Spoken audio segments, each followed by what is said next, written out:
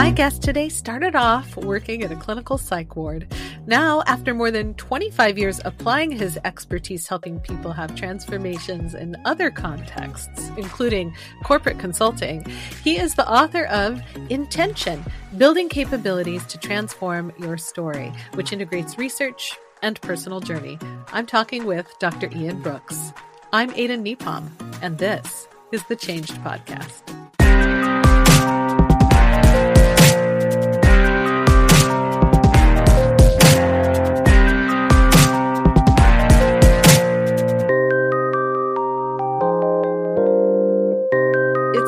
Have you here, Ian. Should I call you Doctor? Should I call you Mr. Brooks? Should I call Just you call me Ian. That's perfectly fine. Thanks for being here. I have so many questions based on just your history. You have such an interesting history. Um, you, so you worked in a clinical psych ward. Like, are you talking about uh, like it, inside our our prison system? Well, actually, um, some people did come from our prisons. Other people were brought in by their uh, by their families to act in a, in a lockdown ward. So it was a a four, supposed to be a 14 day um, lockdown facility where the only way to get in and out outside of handcuffs or being brought in by your family um, was through it with a key.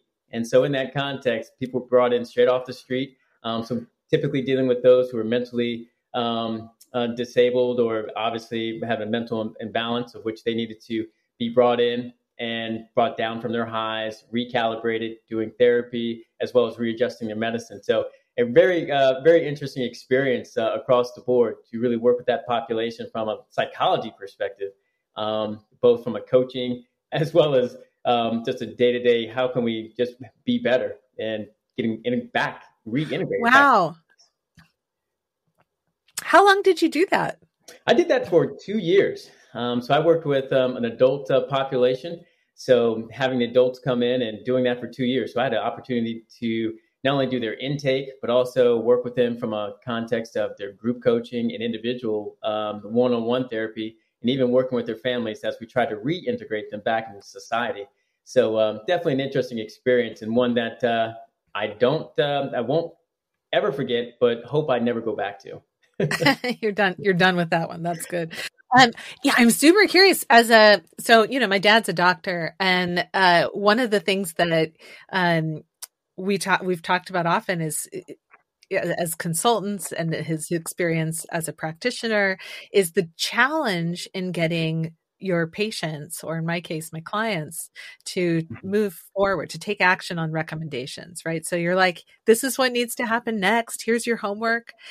Was that mm-hmm. more or less difficult for you in that context? Like what i i'm super curious. In a lockdown ward is there more buy-in because people have to to get out or yeah, it, it it it was a lot more buy-in within the context of that lockdown facility because they weren't getting out anyway because they had to pass through myself or other individuals who were looking over my work as well as the the actual um, psychiatrist who was actually prescribing medicine and so forth.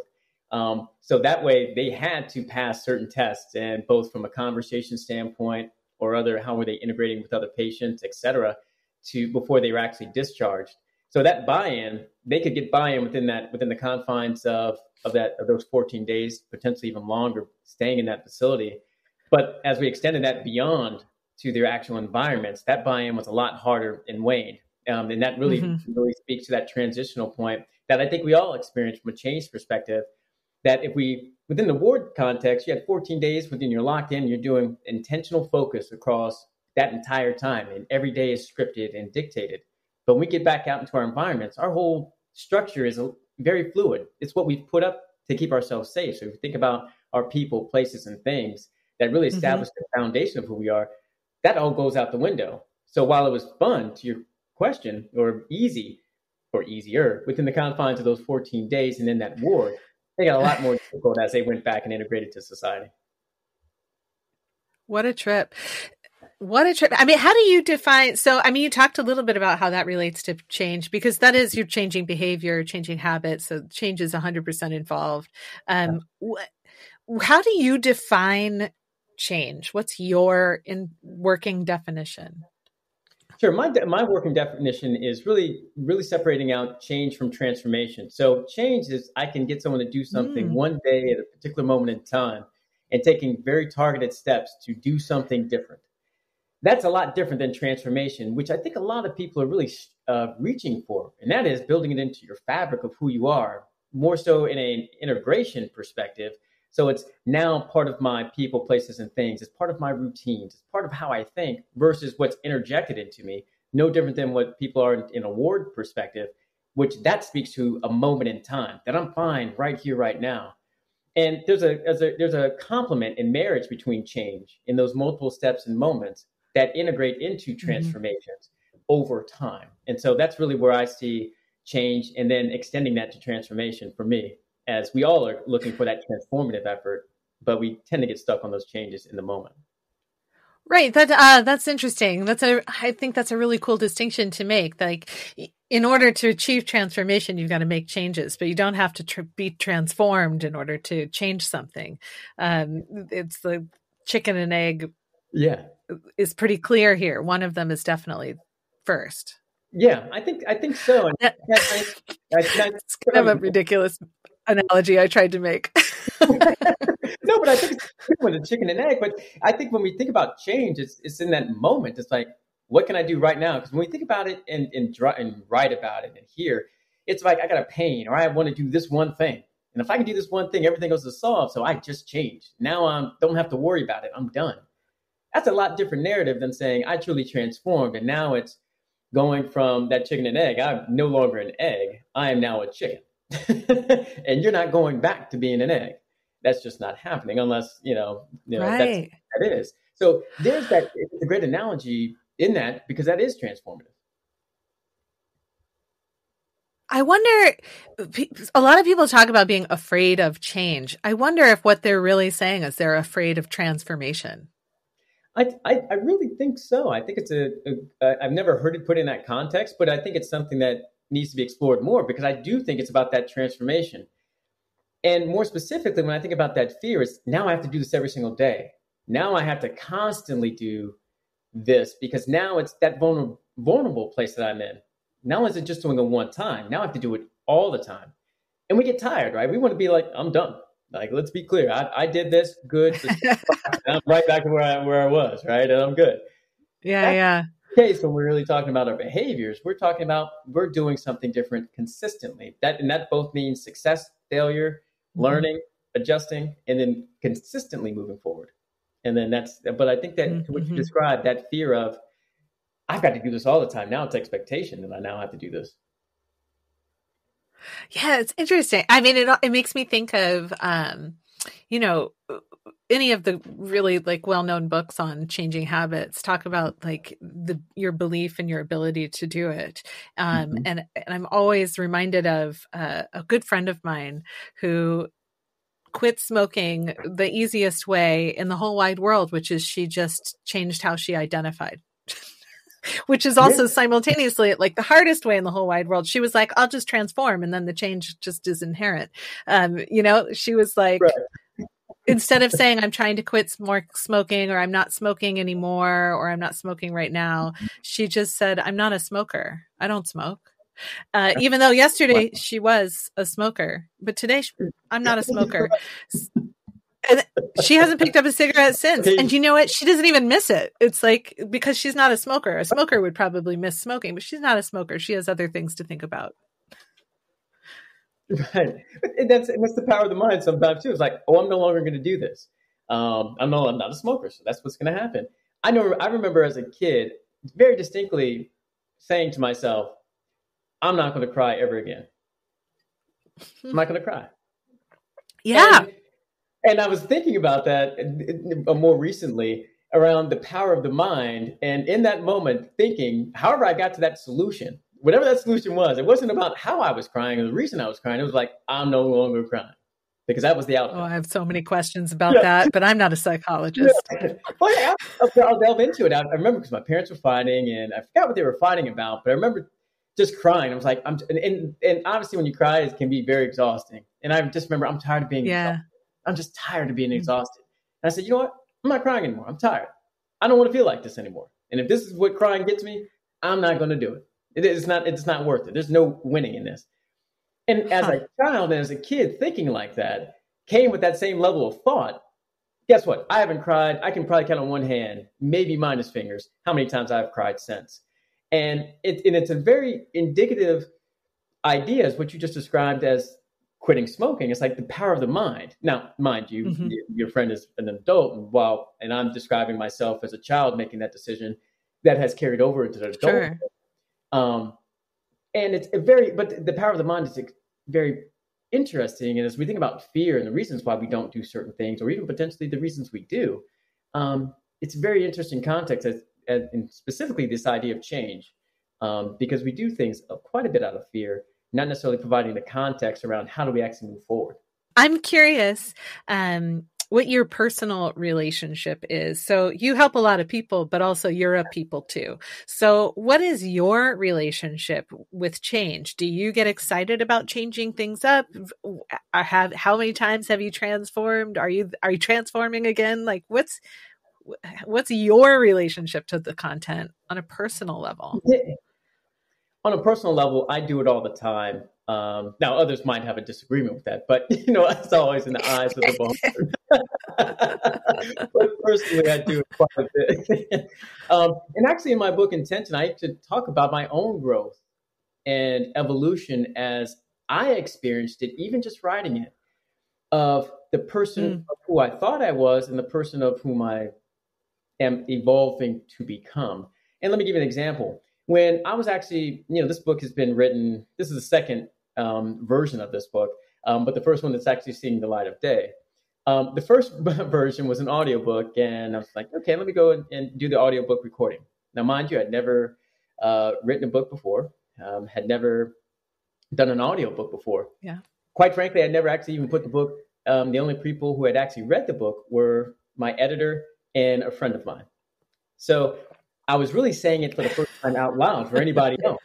And so um, I, and as a as a person who isn't much into social media and so forth, but getting there, um, and one of my growth opportunities was to actually extend myself. And one reason why I wanted to do the audiobook to really push myself in in that real time. And and boy, did I!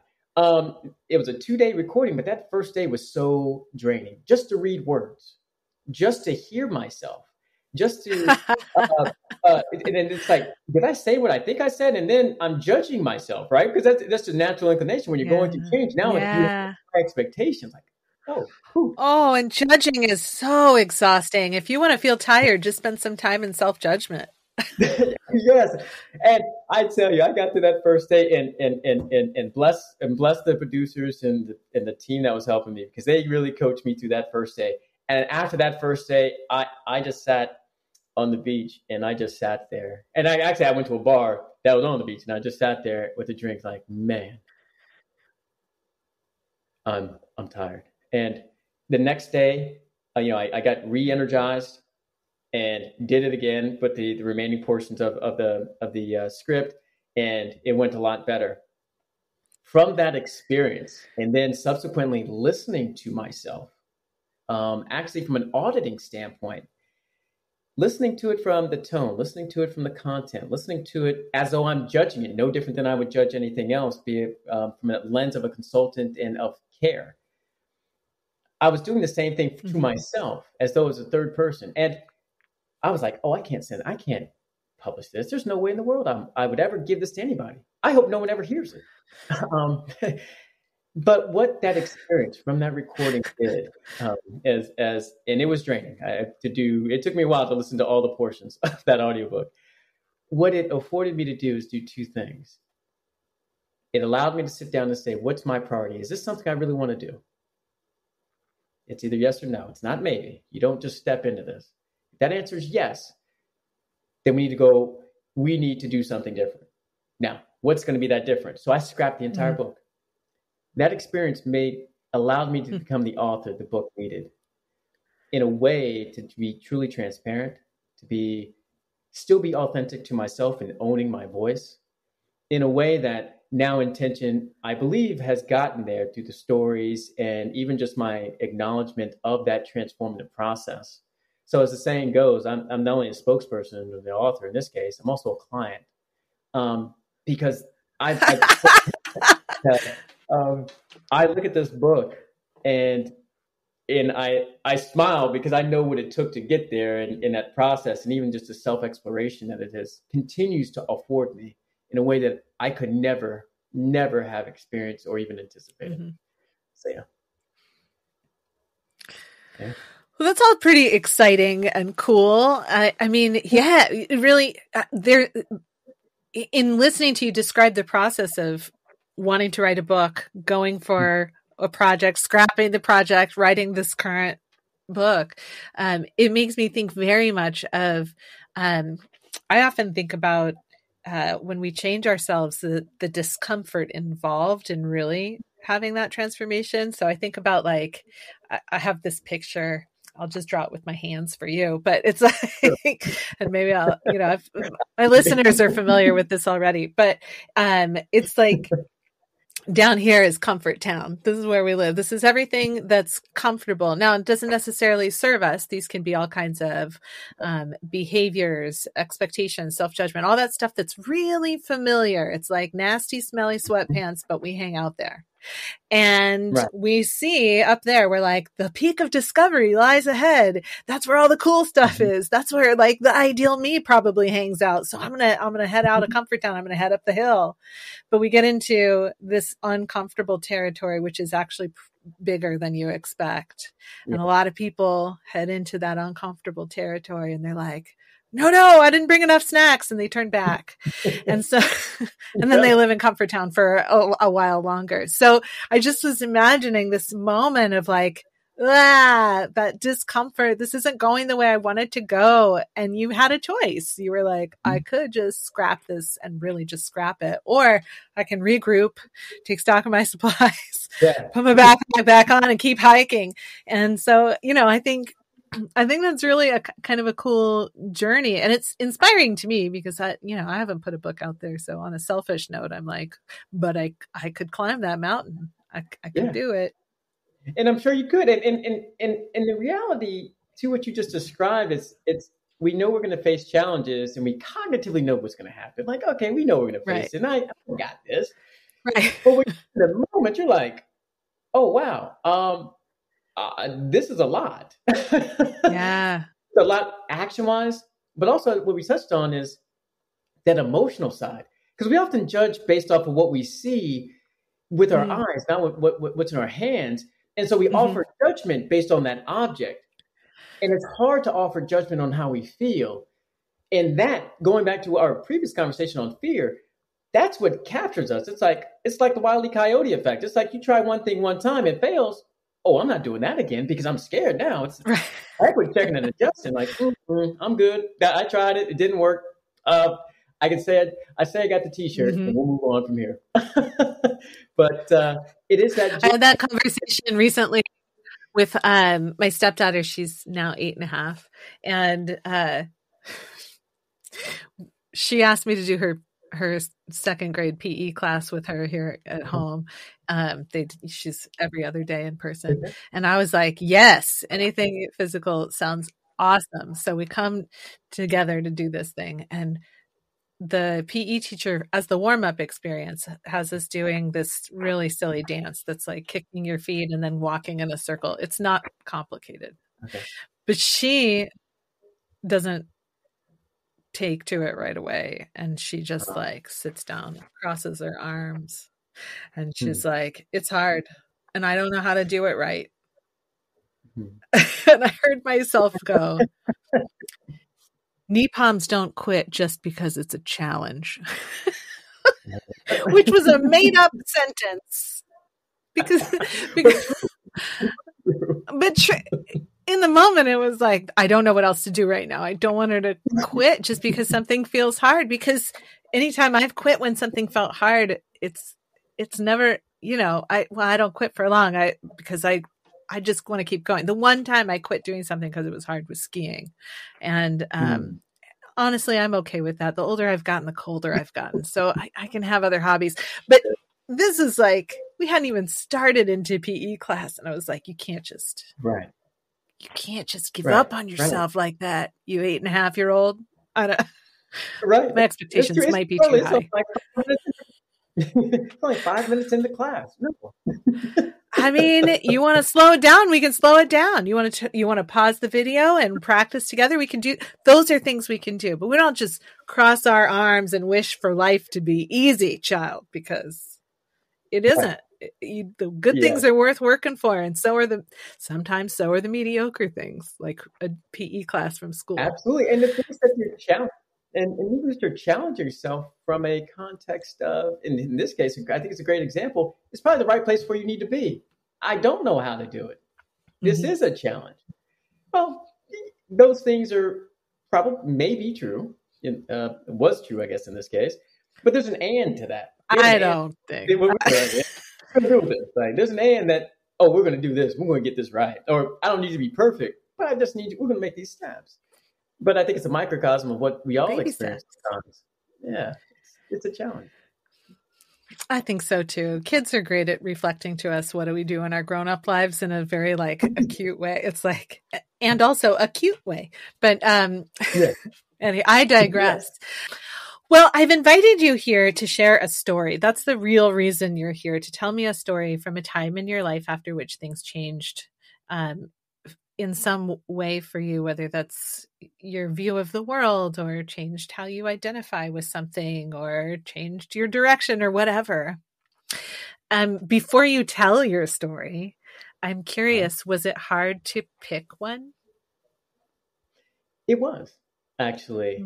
Mm. Um, because I, our stories evolved where we are in place and time. So there's places that, you know, when I was a child, and as we were just describing earlier, yeah. Um, when I was thinking as a kid and how that changed my direction versus when I was a young adult versus an older adult now. Yeah. Um, what that means and does, um, and the perspective that I and context that I'm able to provide, it was it was it was it was challenging. Well, I'm excited to hear your story. So I will ask you now, Dr. Ian Brooks, will you tell us a story from a moment in your life after which things changed? Sure. I, you know, the one that I'm going to stand really stand on is a moment in time in my midlife um, when I was actually riding a motorcycle and I was I was hit by a car. And in context, uh, when you're riding a motorcycle, at least always I had in my mind that it's not a matter of when. It's just a matter not it's a matter of when, not if, but when you actually got in an accident. And so always mentally, I knew that at some point I would get in an accident um, by my own hands or someone else's. But when I got hit, in in this case, I was T-boned by a car, so literally an entire car coming into the side of me. Um, I immediately, after I got hit and and all things transpired, I was riding in the ambulance. Um, I recognized that I have an opportunity here to to really take hold of stock in my own life. Right? no no better place than that, being in an ambulance, um, and not knowing what's going to happen. And, and, while I felt good, I you know, and mentally, obviously, body wise, was a little little banged up to say the least. But it also provided me opportunities like at that moment, riding in the in the in the ambulance and I don't know how long it took us to get to the hospital and get to the ER, but I knew riding it, I thought to myself, I'm getting on this motorcycle again. Paint me a picture of that day. Where were you headed? Sure. So actually, I was leaving, and, and I'll never forget it. It was that actually Obama's second. Um, um, um, it was November seventh. I think it was November seventh uh, when it was the when Obama was going to be elected president again, and that was Ballot Day and I was leaving work around four o'clock, and I was I was driving home, and I only lived a mile away from where I worked, and I was driving in downtown Los Angeles, and there was a lot of traffic as you might imagine because people are going to different polling places, um, aside from just the regular traffic of individuals going home, um, in general, and I was driving in my lane and in California you can split lanes but I was driving in my in my lane. And again downtown you can't go but so fast anyway. Um, but it, as I was crossing an intersection, a car um, thought they had the light and just turned into me and took me out. Um, and I immediately hopped up from that motorcycle um, and on the other side and just started running. I, I was like, just just move. I, I, don't, you know, whether I was running, walking, didn't really matter. Um, but just move, just to get away from the car, just so I didn't get run over, and etc. And I sat down on the curb, and you know, I was obviously Good Samaritans stopped, and they couldn't go anywhere anyway from a traffic standpoint because the motorcycle was totaled, and here I was on the side, and I and I thought it was fine, right? Because I was like, oh, if I get in an accident, you know, my family and friends don't want me to ride again anyway. They think it's dangerous. You're going to kill yourself, and here here's an example. Um, and so I, I was remember sitting on there. I'm fine. I'm fine. Just let me breathe, and and so forth and then you know obviously that's what we tell ourselves right? Again getting into this mental and just that physical side right? I started just you know just feeling good. All of a sudden my body just went in a shock. And it just started good into wow. that an a, a live atrophy because i just couldn't stop. And and and i was like oh i'm just fine. I just need you know water breath. And clearly that was not the case um, in in that respect. But that was the experience. And and i will never forget it I'll never forget the intersection. I'll never forget that what that felt like. And again, um, if I can't remember it mentally, I do have you know the scarring and the and the reminders um, still to this day that that afford me an opportunity to say, you have come from this. Mm-hmm. You can come through something else, mm-hmm. and both physically and mentally. And as we think about change, um, never losing sight of that it can be hard, and it will be hard.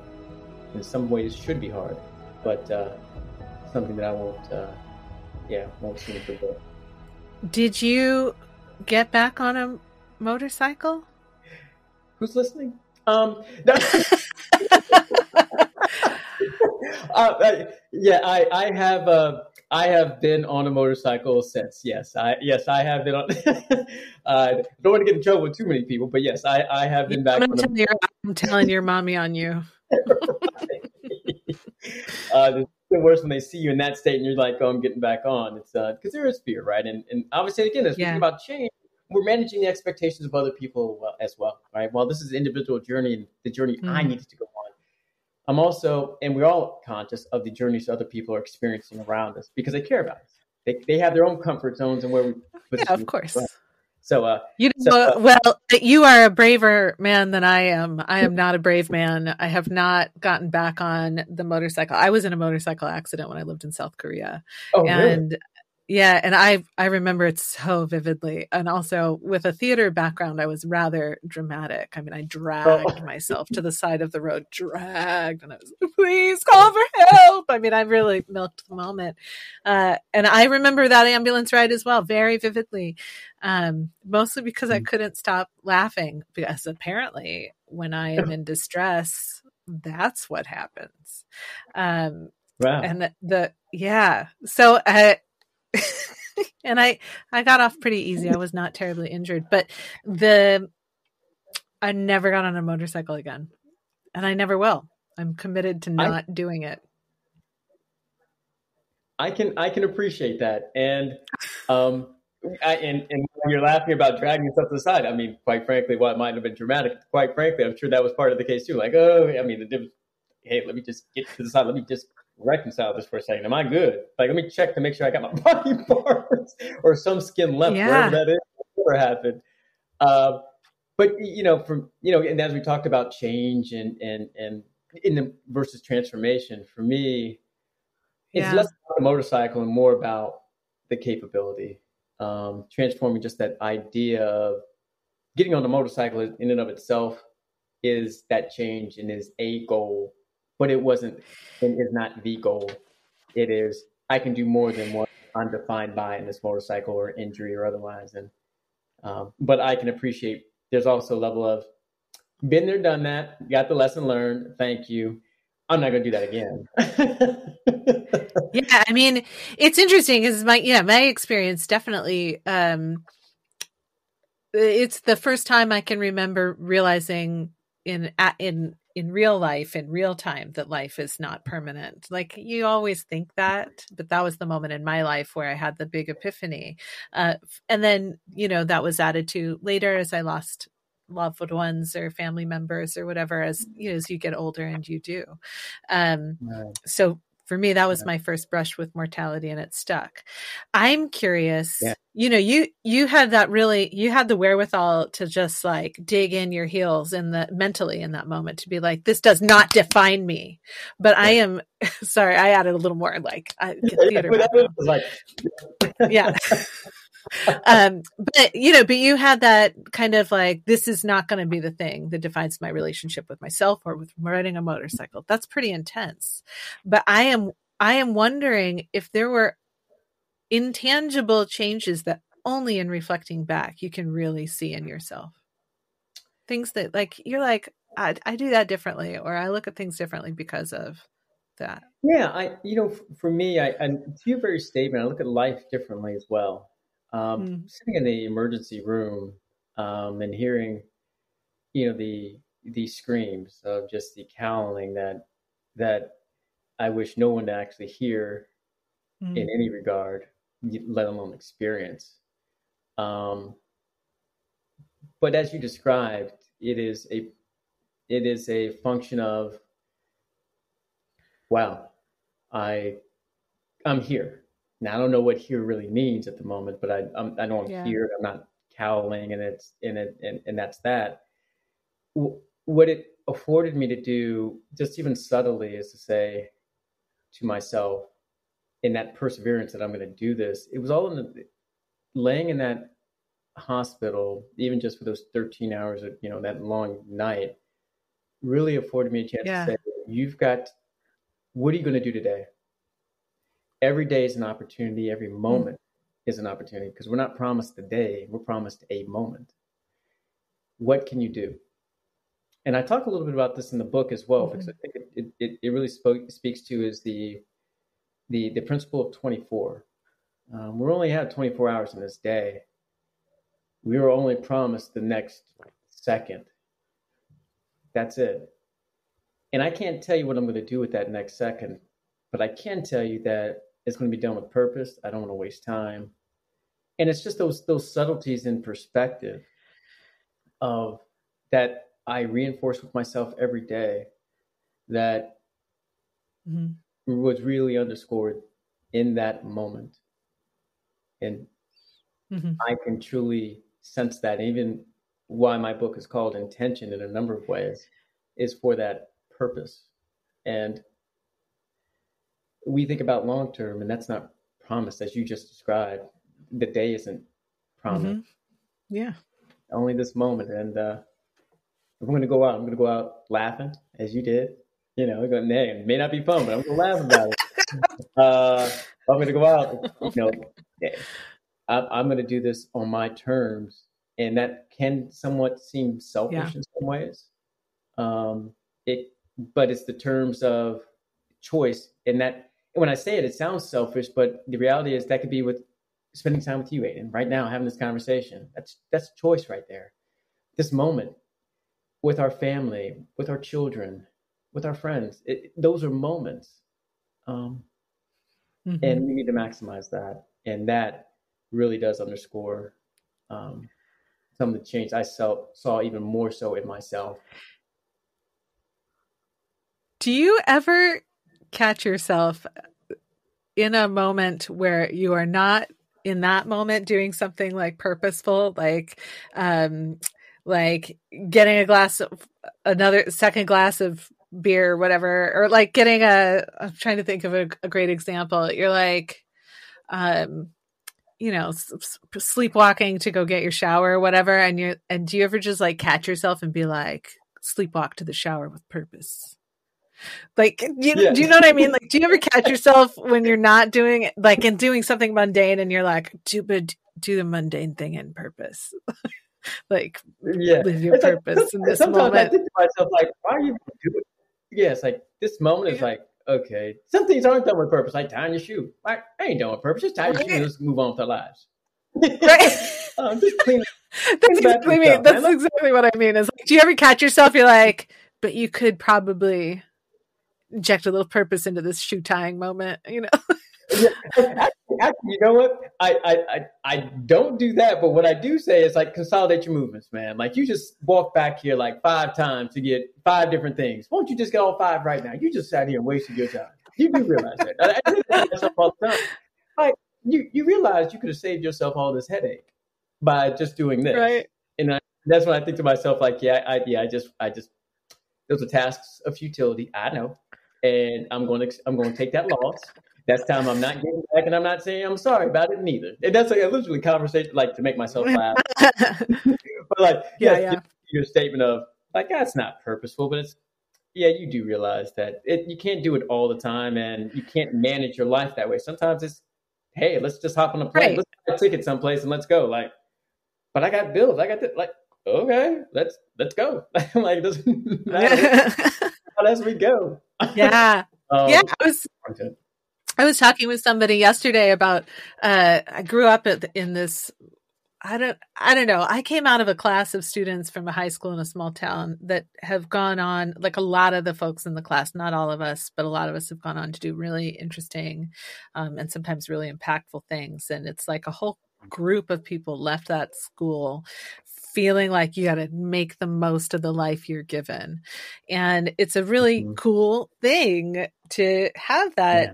experience. But there's also this thing where, like, not everybody has that. Not everybody was trained to think about life in that way. A lot of people, and I think sometimes listeners of this show even are listening to this show and they're like, yeah, yeah, yeah, yeah, yeah. You make it sound so easy. But you know what's really easy is I'm going to just watch another show on Netflix. How about I do that with some purpose? You blowhard. right. You know, like I wonder, you know, like we do. I think I think uh-huh. when you get into the business of of change and you get into the business of consulting and coaching, I think mm-hmm. I think it is really important to acknowledge it's not as mm-hmm. easy as we make it sound. There's work involved. Yeah. Absolutely, and and I think that's you know I think it's an outstanding point. And and as we use the word purpose, and that even though I said the principle twenty four in the moments, right? Yeah. Distinguishing out and separating out what that really means. It's if you want to kick your feet up and eat a whole bag of potato chips and, and watch netflix all day you're doing with that purpose whether you realize it or not. Congratulations. Right. Now if your purpose is really to go out there and exercise well then that's you know that's a that's a different conversation. But you're still doing what you're doing with purpose and because you are doing it intentionally right? And, that, and that's okay. It isn't always necessarily an outcome based hey, I've accomplished, I, you know, I, I hiked this mountain or I did this or that, Well, you have a story to tell. Sometimes that purpose is, I just need to be lost in my thoughts. What did you do today? Nothing. I didn't do a single thing. Mm-hmm. And I did it intentionally. And I'm okay with that. I think that's critical. I think it's super important, actually. I think if, um, I think to live a purpose driven life in which you are trying to get the most out of every moment, some of those moments you need to get rest, and some of those mm-hmm. moments you need to get spaced out. Some of those mm-hmm. moments you need to get forgetful, and it's it's all part of the equation. It's like life is is a balance of experiences, you know. Yeah, it it, it really is, and and and I and I think people again just get lost in um, go go go go go go. It's like no, we're, we're yeah. no, I'm stop.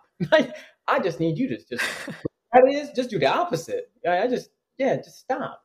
Um, that's purpose, and and and as you mentioned, that offers balance that we don't necessarily afford ourselves because we're in that constant comparison of like, oh my God, as you'd even describe your high school, like people done some really cool things. So in, in, in maybe some people's mind, well, I'm not going to put myself out there because they've done this really cool stuff and I just did right. this. Like, well, that doesn't make you less than. It's just you have a different story, and that, that's okay. Um, you don't need to keep keep doing, but it isn't always a hierarchy of you did this and they did this, now it's constant comparison, um, and that's where we sometimes get caught up. Yeah. Um, unfortunately. Yeah. Well, I really enjoy talking with you. I'm, I'm, seeing what time it is. I'm curious. Um, what are your final thoughts here? What would you like to leave people thinking about as a result of having heard this conversation? Sure, I, you know, there's there's two takeaways that that I'd say after our conversation. I think as we described, uh, or several takeaways, not just two. But the first is um, change is hard, right? I don't, I think, I don't think your listeners are surprised by that. But this is just another story and acknowledgement that as we go about our journeys, each of our journeys is different, and acknowledging that we're not only the writer, we're the director, we're the actors, and we can control mm-hmm. our sets. And not being afraid of what that really entails, which leads to the second point of fear. It looks good on a piece of paper, right? We all live parallel lives on paper. But when you put in that work, that what you're feeling versus what you're seeing, that's when that some of that challenge comes and when that fear starts to come out. Person, you know, have have the context of that, knowing that it's going to come, knowing that it's going to be there, and now how are you going to mitigate that? Um, and it's okay to say I'm not going to do this, but acknowledging that still puts puts you in a position of power versus being held captive by the fear. And then finally, enjoy the journey. Um, continuously look for opportunities to just lay up, watch Netflix, and eat ice cream and eat potato chips as much as you do laying up and enjoying yourself and doing taking activities.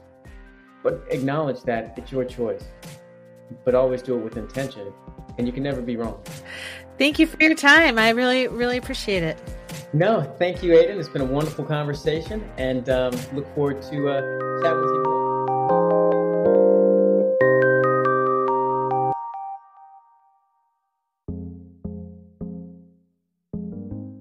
Okay, so I am really interested in this idea, this distinction that Dr. Ian Brooks has made between transformation and change. Since the whole idea behind this show is to explore the meaning of change, I will confess to you that personally I have been including transformation among the many definitions for change that I have. But now I am thinking about what happens when you parse these two out. Suddenly, transformation is this category where it feels hard, and change maybe is a category where it's less hard or easy. I don't know. I will be thinking about this more, and I encourage you to do the same. I want to hear from you. Have thoughts, feelings, sarcastic remarks, or a story to share based on listening to this episode? Help me keep the conversation going. Join the Facebook group www.facebook.com forward slash groups forward slash change hub. Make sure to pick up your copy of Intention, should you choose to buy one, uh, from your local bookseller. And of course, please help us spread the word about this podcast. I want to thank you for listening to and supporting the Changed podcast. Special thanks go to my family for their love, support, and patience. To all of the amazing Changed Podcast Patreon page members who I couldn't do this without. The Art of Change Skills for Life, and Patreon member producer Dr. Rick Kirschner. I'm Aden Nepom, and I wish you the kind of experiences in life you're excited to tell stories about.